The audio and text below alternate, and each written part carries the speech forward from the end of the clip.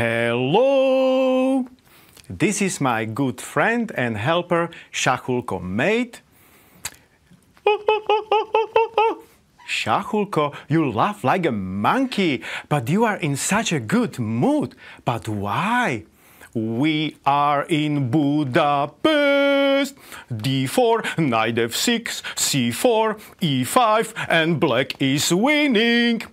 Almost, Shahulko. So I just want to give you example how I'm doing my lessons with the smallest children. They like my friend. "Mm, This is my lesson. Um, I want to teach. No, this is my lesson. Just be quiet, okay?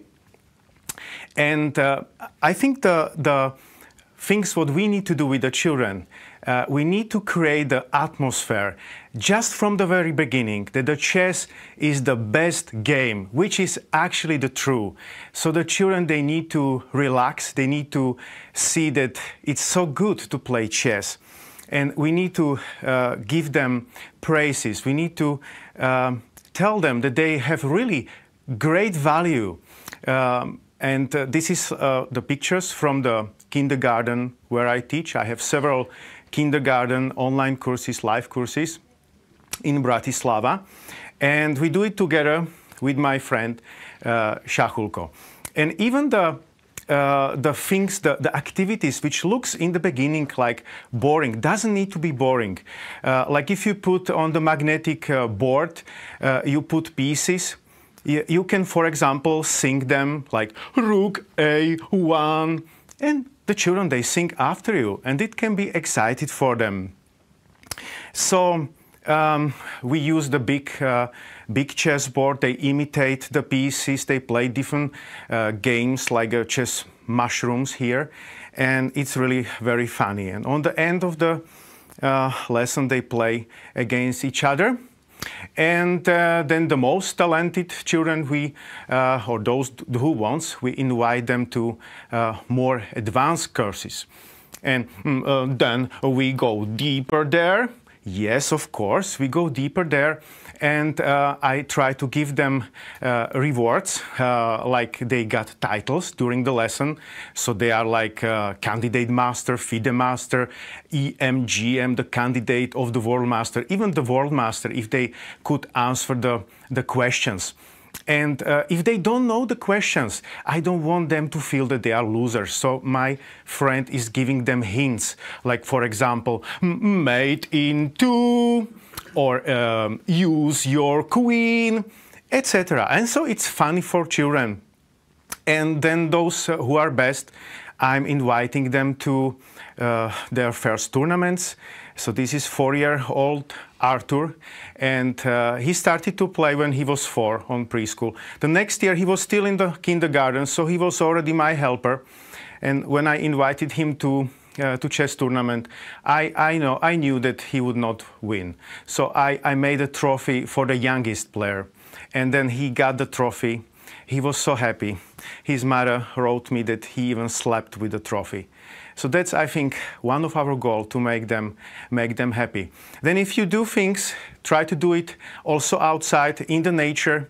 Uh, here, uh, here, children are solving some puzzles, but what is even more important is to give them some rewards, good words, but also a little bit what they can take home. So I'm using small uh, stones, precious stones, minerals, and they got if they win, they got if they draw, and they got even if they lose and they like it. And if, uh, if they have a lot of them, they are changing from the, for the bigger one.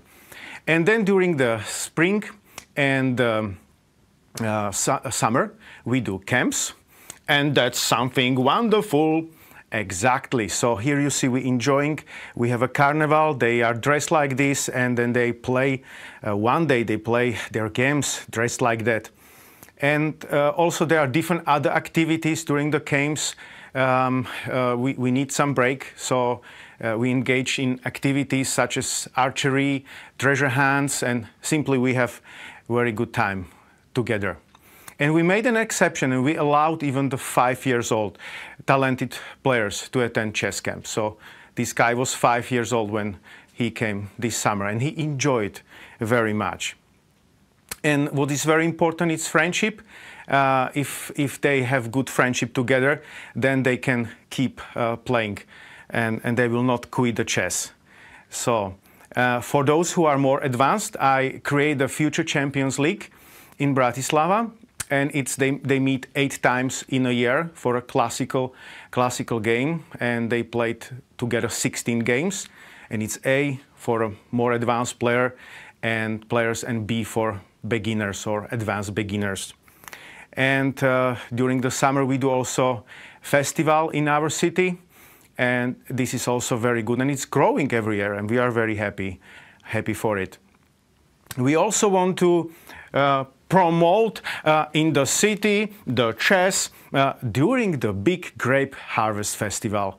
So uh, thousands of people are passing by and we do this chess tournament uh, in our part of the Bratislava city. And I also like to do something very fun and, and which is uh, interesting and it is what? Bike and chess. So in a forest, they have uh, they, they need to do seven rounds biking, and then they played eight blitz games. And if you are slow on bicycle, then you have less time on the clock. And very similar, run and chess. This is a nice event for the whole family. Again, seven rounds in a forest, running and then playing chess between. Uh, also, um, uh, in our community, uh, they really are sup supportive in the part where I live in Bratislava. So I'm organizing the matches, old versus young. And it's really a great match, always. And uh, on the end, I want to say that I wrote a book about my dreams. And this is also a tool which helps me to reach out to small children. Uh, it contains the fairy tale, his dreams and funny stories, and between the chapters there are chess rules, there is like poems, and there is also like uh, current uh, today's famous chess players, some information and photos for them. Thank you so much and see you in Bratislava. Thank you.